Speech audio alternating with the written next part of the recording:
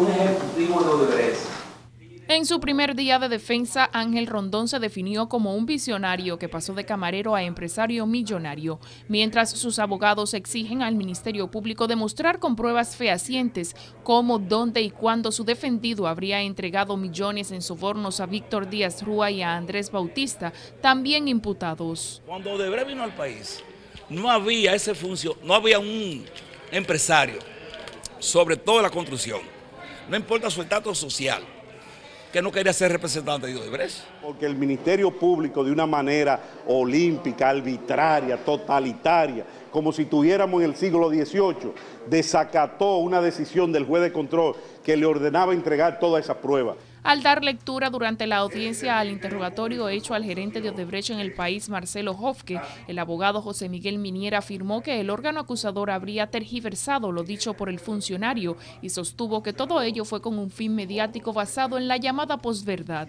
Si se comete ese hierro enviando a juicio, es que hay que eliminar al juez de la instrucción, porque el juez de la instrucción eh, colapsó, no está haciendo la función de filtro. En los últimos minutos reconoció, por ejemplo, algo que el Ministerio Público ha venido afirmando, de que los contratos eh, en el que se vinculó al acusador Rondón Ríos son contratos simulados. Ante presuntas incongruencias durante la fase investigativa, los abogados de Rondón señalan que el proceso fue puesto en horno de microondas para dar respuesta a reclamos de luchas contra la corrupción. La defensa de Rondón llamó al juez de instrucción especial a evaluar bien las pruebas aportadas por el Ministerio Público a los fines de evitar incurrir en una mala administración de justicia. La audiencia continuará este martes a las 9 de la mañana. Sara Vallejo, Noticias SIN.